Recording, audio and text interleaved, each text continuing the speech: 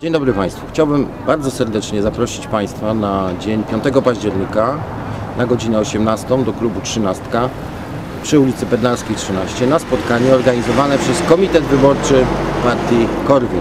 Chciałbym Państwa zaprosić na spotkanie z kandydatami na posłów z list tej partii, w tym m.in. ze mną, e, liderem tej listy, Tomaszem Żukiem i prosić Państwa o to, aby Państwo zaszczycili nas swoją obecnością i poświęcili nam swój czas, abyśmy mogli e, zaprezentować Państwu nasz pogląd na obecną sytuację w kraju i nasze e, propozycje programowe, które w naszym przekonaniu będą służyć Polsce i będą służyć Państwu. Dziękuję bardzo.